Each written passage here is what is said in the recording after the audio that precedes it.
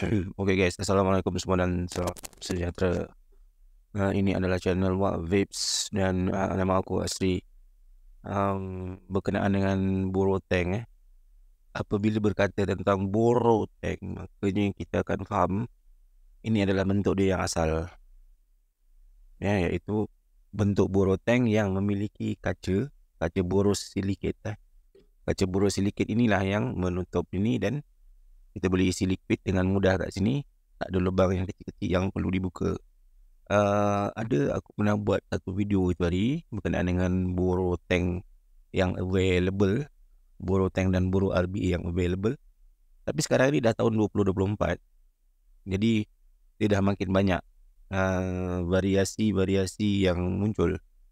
Yang ada di depan mata ni hanyalah bahagian sedikit saja. Ada yang metal eh dibina dengan metal logam ada yang titanium dengan pelbagai corak dan macam-macam lagi. Fungsinya cuma adalah eh, boro tank ni adalah untuk mengisi ataupun menempatkan apa yang kita panggil sebagai boro bridge ataupun RBA untuk device-device boro.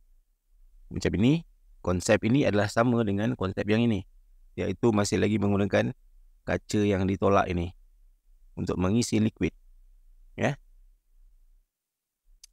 Dan banyak eh manufacturer-manufacturer yang juga sekarang ni mengeluarkan uh, device dan berserta device tersebut mereka akan bagi sekali um, dia punya uh, boro RPA ataupun boro bridge serta tank dia.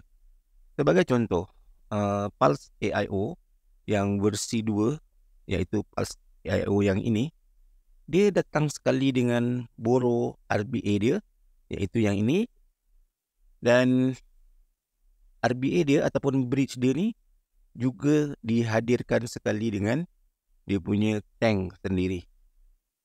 Dan yang menariknya uh, Pulse AIO bukanlah kali pertama buat macam ni.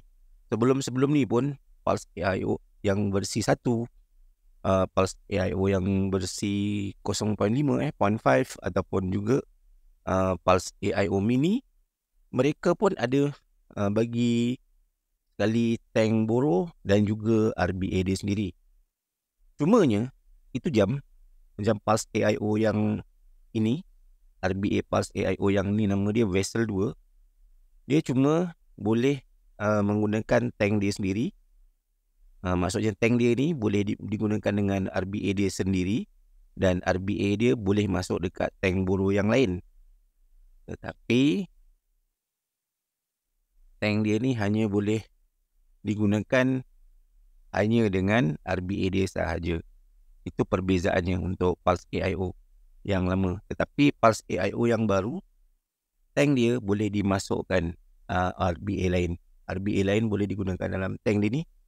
Dan of course uh, RBA dia yang ini boleh dimasukkan dekat tank lain. So ini bukan saja berlaku kepada Pulse AIO dan RBA Pulse AIO yang yang baru ni. Uh, bila kita tengok sebenarnya ada juga uh, company yang memang mengeluarkan RBA dan meriliskan tank sekali macam kita tengok uh, Blaze RBA eh. Blaze RBA tengok ni sekarang RBA dia boleh masuk dekat uh, tank boro berkaca yang lain dan ini tank dia tank blaze ni tadi boleh kita gunakan dengan RBA lain di dalamnya.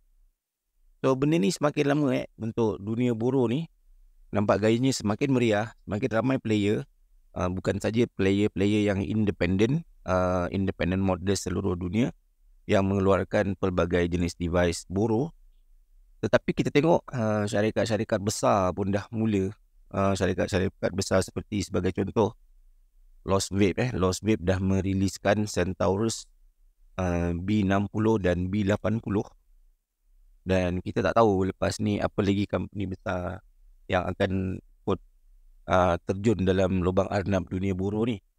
Uh, mungkin Vupu akan keluarkan uh, dan the sehari dua ni ada release ada company nama dia Ad Advken A-D-V-K-E-N Advken eh bunyi dia yang sebelum ni meriliskan pod, meriliskan Arta RDA dan mereka juga pernah meriliskan sebuah AIO sesuatu masa dulu.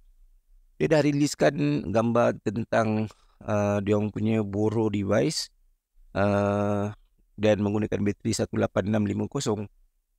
Dan benda ni makin lama makin meriah, makin lama makin banyak eh tim-tim syarikat-syarikat yang mula uh, memaparkan dan memperkenalkan uh, produk untuk pengawapan ni yang berkuasakan ataupun menggunakan platform buruh. Dan dia dah dah orang kata jadi satu fenomena jugalah maksudnya uh, makin lama makin diterima eh buruh AIO ni. Dan makin lama makin ramai yang menggunakannya. Kalau kita tengok kawan-kawan sekeliling kita pun sekarang banyak yang dah pakai device buruh eh baik device yang uh, mampu bilik ataupun device-device yang uh, high end jadi itu semua adalah pilihan yang ada dan kita boleh pilih mana saja yang kita suka. Cuma nak ingatkan berbelanjalah dengan bijak, berbelanjalah dengan uh, intelligent. Jadilah pengguna yang bijak. Jangan jadi pengguna yang membazir, beli, beli, beli tapi tak pakai dan lalas uh, buang ataupun membazir dijual dengan harga yang murah. Dah rugi. Oh, lupalah nak cakap. Ada satu lagi geng yang uh, dia boro juga tapi dia RDTA eh. Macam ni Taita X RDTA eh.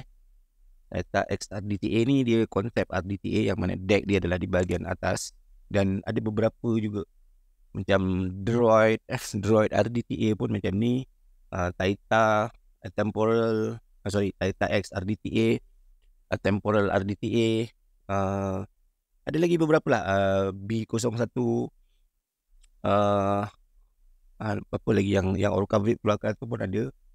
Uh, kemudian yang Stubby RDTA pun ada.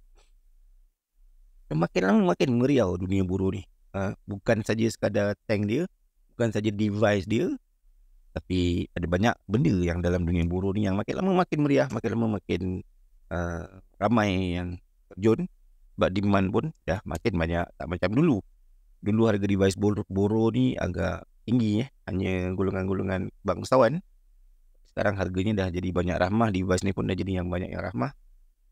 Kalau dulu hanya sebagian user saja yang uh, menikmati uh, device-device buruh sekarang dah makin ramai users yang menikmati dunia buruh ni. Jadi itulah saja sekadar berkongsi pengalaman berkongsi cerita dan jadilah seorang pengguna yang bijak.